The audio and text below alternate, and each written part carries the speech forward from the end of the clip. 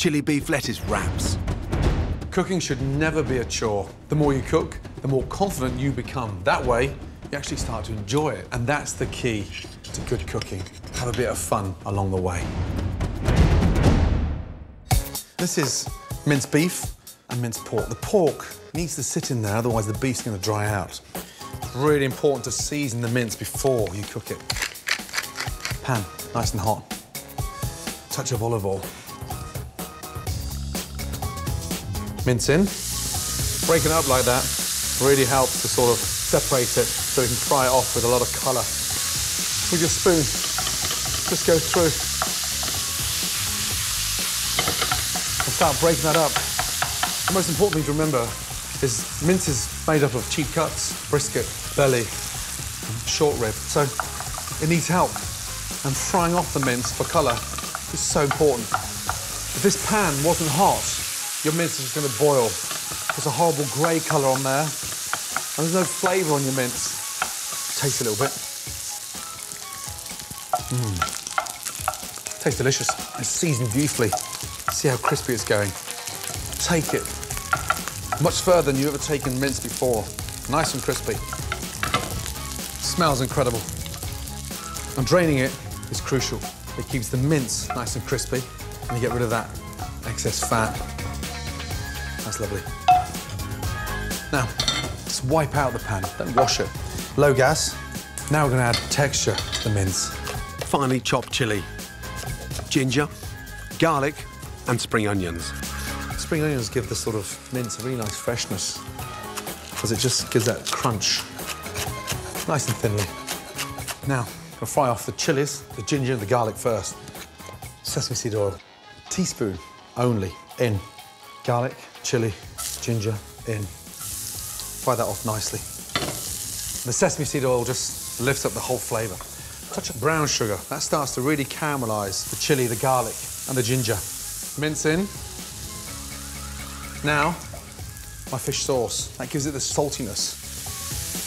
You can see now why it was so important to get that mince really crispy because nothing's going soggy, it's staying really crispy. Fresh lime. That makes the mince fragrant. And then lime juice. Roll it.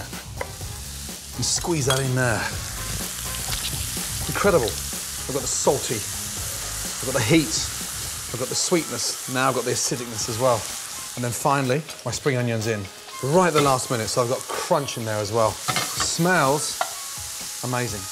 Literally cook the mince now with sort of 30 seconds to go. Gas off and take it out. Looks incredible. Smells so inviting. To go with the chili beef, I'm making a simple sweet and spicy dipping sauce so everyone can dress the crispy mince to their own taste. Dipping sauce, a little teaspoon of the brown sugar soy sauce. Gives it that nice sort of dark, rich colour. Sesame seed oil, a tablespoon, and just top that up with a tablespoon of olive oil.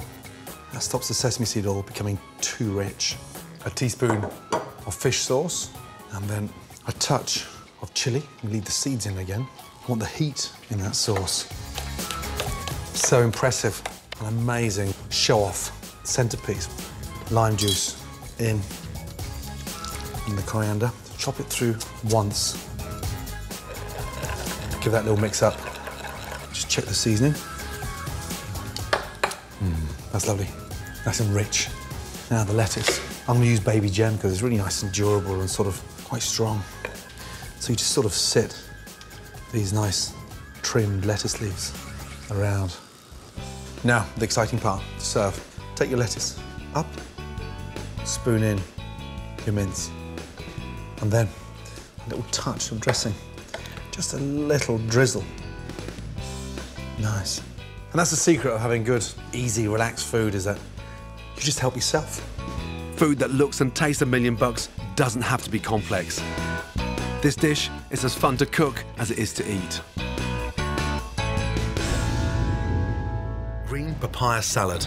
This is a great salad to serve at a party. It's delicious and robust enough to last the whole evening without wilting.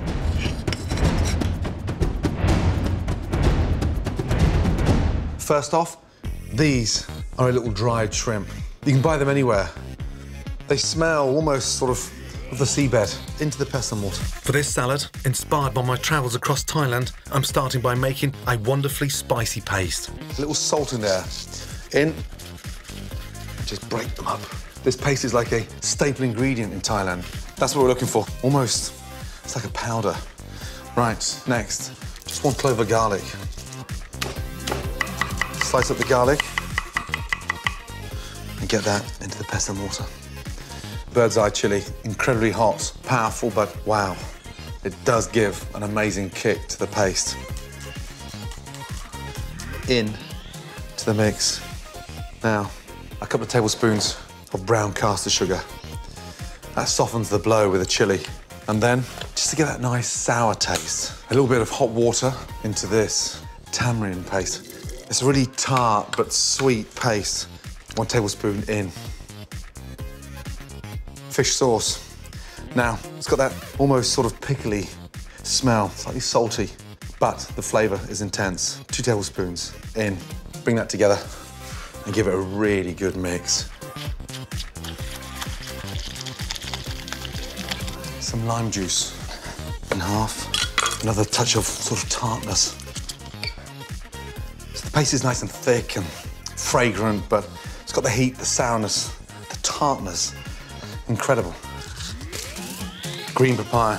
Stand it up, give it a little peel. You can find green papaya in local Asian shops and bigger supermarkets. And as it doesn't wilt like more delicate veg, it's perfect for robust salads like this. I'm gonna grate it. And look, that's what I want. These thin slithers. Next, a nice, rich, sweet banana shallot. Nice. Some carrot. Carrot gives it another texture. Now, lift all that and mix it. Finish that off with Thai basil and fresh coriander. Thai basil is a much more fragrant basil. It's stronger and it's slightly thicker as well. Like papaya and tamarind paste, you can get Thai basil in good supermarkets and independent Asian stores, but normal basil works well too. Next, prepare the crunchy topping. Pan on and toast some peanuts. Chop the nuts, but it gives a really nice crunch. In they go. Roll them around the pan. Gas off just tip them out. Now for the exciting part. We're going to dress the salad nice spoon of dressing in to the papaya. Mix that in. And then finally, a nice general sprinkling roasted nuts. And that is one delicious, very fragrant, very robust green papaya salad. So easy to make and guaranteed not to go limp. A perfect party salad and with such incredible colours, textures, and bold, exciting flavours, it's sure to grab your guest's attention. Red mullet with sweet chilli sauce. Cooking is about being adventurous and having the confidence to go off piste and being a little bit more daring. So when you start combining peanuts, chili flakes, and this amazing fish, red mullet, trust me, you're in for an amazing treat. We're gonna make a really nice, light, sweet chili sauce. First off, your chili. Off with the top in half. And those seeds inside are very powerful. Incredibly hot, but full of flavour. Garlic, two cloves of garlic. Slice the garlic, nice and thin, so it helps to puree the chilies in the pestle mortar. Garlic in, touch of salt, a little touch of sugar in and then start grinding. Push down first. The salt and the sugar really helps the puree the chili and the garlic. Fish sauce, always a base to a chili sauce. Two tablespoons in, and a touch of rice wine vinegar. Fish sauce gives it the saltiness. The vinegar gives it a nice acidic wake up. Three tablespoons of olive oil. Nice. Mix that up. Beautiful. Look at it, the colours, incredible. Now, spring onions. I want the texture and the crunch. Spring onions in, the coriander. Slice it once. In. Fresh lime. And that goes brilliantly with the red mullet. Just really wakes up the chili, the garlic, and reminds the sauce that we're serving it with fish. Now taste. Mm. Wow, that's delicious. Look at that. Beautiful. The longer that chili sauce sits there, the better it gets. Now, for the peanuts and chili, that's gonna coat the top of the red mullet. Peanuts in, salt in. That helps to really grind the peanuts down. Some beautiful dried chili flakes. Creates a nice sort of warm heat. I'm using fresh chili for the sauce, but dried chili flakes for the coating, which will really crunch up when cooking. Just a little bit of the coriander. Mix the coriander in to the peanuts. And look, I like them quite textured. I don't want them too small as a powder, otherwise they'll burn, but crushed lightly. To coat the fish with the chili and peanut seasoning, in a separate bowl, beat two eggs along with a splash of fish sauce. Take your fillet, lay in your red mullet, dip it in, shake up your peanuts, and then in. And make sure you push that down, cover that red mullet. Oh, beautiful. Now make sure that pan's really nice and piping hot. If you put the fish in and the pan's cold, all those wonderful peanuts and chili is just gonna slide off the fish. So we need to sear it in and get it nice and crisp.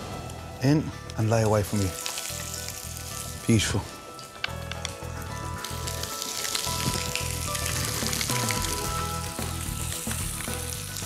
If the pan starts getting a little bit too hot, get your olive oil and just place another teaspoon of olive oil around the outside so it starts to heat up as it hits the center and it really helps to stay so much more in control and turn nice and gently.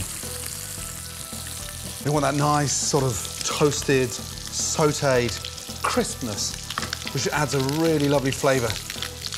Tilt the pan and just baste the top of the red mullet with that really nice piping hot olive oil.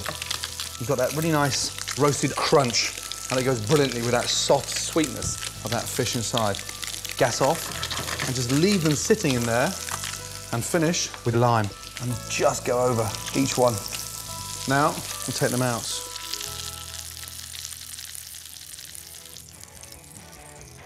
And the sauce, a touch on the bottom, and the tail of each fish. Now to round that off, serving some fragrant rice, sauteed broccoli, amazing. And there you have a delicious peanut encrusted red mullet with a wonderful sweet chili sauce. Cooking with chilies isn't all about blow your head off heat. This dish uses the exciting taste of a chili, but has a deliciously elegant and subtle flavour.